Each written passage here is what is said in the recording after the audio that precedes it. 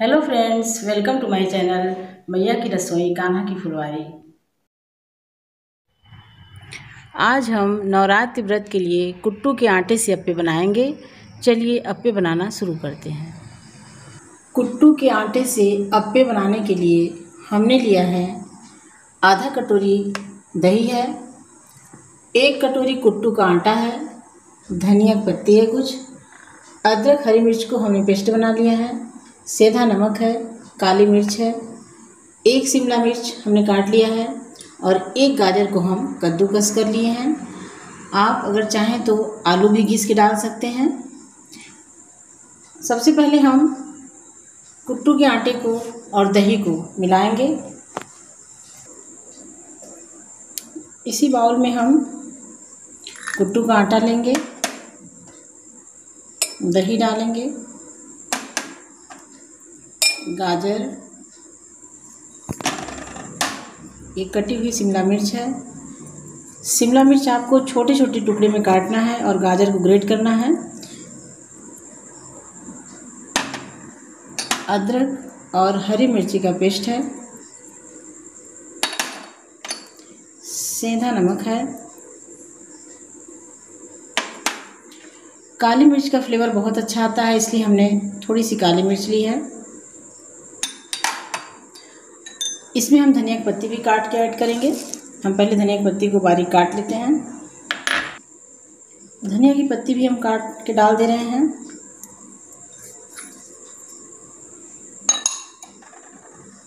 सभी चीज़ों को हम अच्छे से मिला लेंगे। इसमें हम थोड़ा थोड़ा पानी ऐड करेंगे।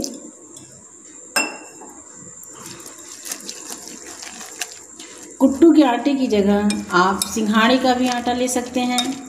साबुदाने से भी बना सकते हैं। साबुदाने को हल्का सा रोस्ट करके उसका कच्चापन ख़त्म हो जाए और उसको मिक्सी में पीस के बारीक उसका भी बना सकते हैं। सभी चीज़ों को हमें अच्छे से मिला लेना है और पाँच मिनट के लिए हम इसको ढक के रख देंगे। घोल हमारा तैयार हो गया है। सभी चीज़ों को हमने अच्छे से मिला लिया है। इसमें हम एक छोटे चम्मच कोई भी रिफाइंड ऑयल आप ऐड कर सकते हैं। एक चम्मच रिफाइंड ऐड करेंगे छोटे चम्मच से। और थोड़ा सा मटर के दाने के बराबर हम इसमें सोडा डालेंगे। इतना सोडा हमें डालना है? छोटे चम्मच से। बहुत ही कम है। इतना आप देख सकते हैं। इतना ही सोडा हमें ऐड करना है। ये खाने वाला मीठा सोडा होता है।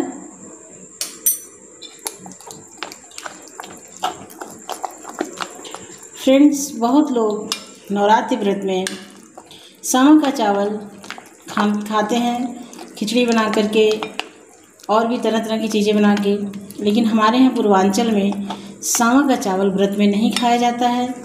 इसलिए हमने सावा के चावल की व्रत के लिए कोई भी रेसिपी नहीं डाली है। बैटर हमारा बनकर तैयार है। अब हम गैस ऑन कर लेते हैं। गैस हमने ऑन कर दिया है और अप्पे के सांचे में हम थोड़ा थोड़ा रिफाइंड ऑयल डालेंगे।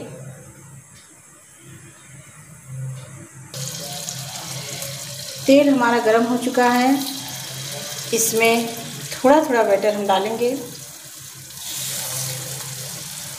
इस तरह से सभी खाने को हम भर देंगे।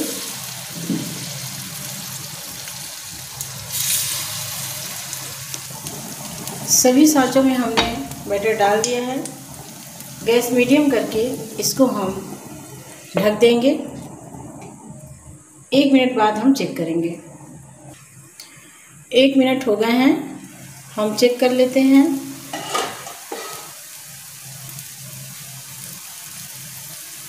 अब पे हमारा बहुत ही अच्छा फुला फुला बन रहा है। सभी को हम इस तरह से पलट देंगे।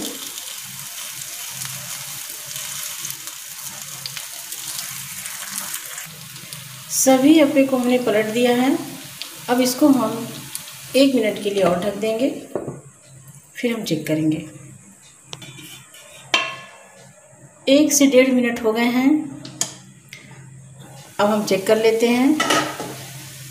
बीच में भी एक बार हमने चेक किया था। आप देख सकते हैं अप्पे हमारा पूरी तरह से बन करके तैयार है। इसको हम निकाल लेंगे।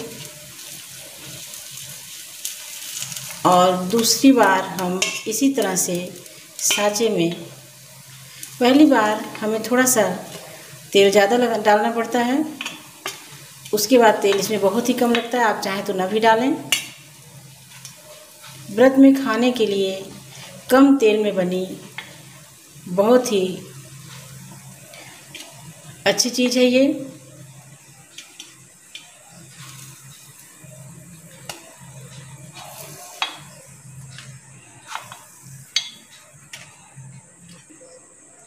फ्रेंड्स ये सभी अप्पे हमने निकाल लिया है। इसी तरह से हम शेष जो बेटर बचा है, इसका भी बनाएँगे। दोबारा हम आयल नहीं डाल रहे हैं, क्योंकि पैन हमारा अच्छे से ग्रीस है, इसी में हम डाल देंगे। सभी बैटर को हमने साँचे में डाल दिया है। ऊपर से हम हल्का हल्का आयल डाल देंगे। दो दो बूंद के लगभग हमें डालना है। और एक से डेढ़ मिनट के लिए हम इसको ढक देते हैं। गैस का फ्लेम हम मीडियम रखेंगे।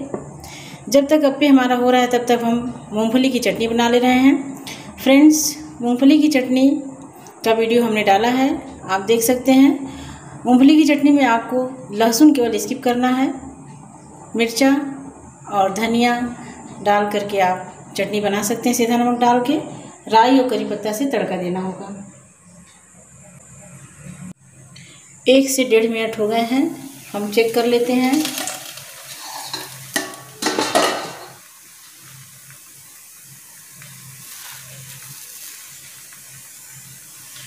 अब भी हमारा बिल्कुल बन करके तैयार है। इसको भी हम निकाल लेंगे। गैस हम बंद कर देते हैं। हमारा व्रत स्पेशल अप्पे बन कर के तैयार है। इस तरह से कम तेल वाला नाश्ता आप नवरात्रि व्रत में बनाइए।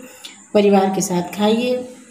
फ्रेंड्स, एक हम आपको दिखाते हैं कितना सॉफ्ट बना है। आप देख सकते हैं।